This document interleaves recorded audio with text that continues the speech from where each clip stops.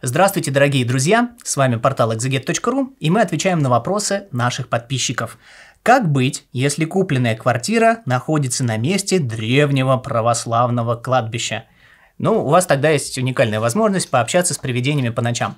А, ну ладно, может, кладбище православные привидений не будет?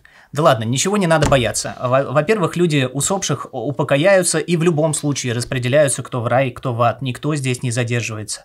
Если вы боитесь какой-то бесовщины, полтергейстов, барабашек, ну возьмите, позовите батюшку, осветите квартиру и не переживайте. Не забывайте исповедаться и причащаться, чтобы Бог ограждал вас божественной благодати. Но на самом деле примеров, когда сносят кладбище и строят на них жилые дома, очень много. Вот, например, я учился в Москве на Лубянке в Сретенской духовной семинарии, а ныне Академии. И эта семинария а, была построена на французском кладбище, которое осталось после войны с Наполеоном 1812 года. И по какой-то иронии советской судьбы, на месте французского кладбища построили общеобразовательную школу с углубленным изучением французского языка. Сначала строители углубились в могилы, а потом советские школьники углубились в изучение французского. Ну а потом там появилась семинария. Вот, мы учились на территории этой семинарии, э, молились в том числе и о упокоении разных людей, Французов помянниках, конечно, не было, но, тем не менее, каких-то аномальных явлений, барабашек, полтергейстов и чего-то пугающего в жизни нашей семинарии я не наблюдал.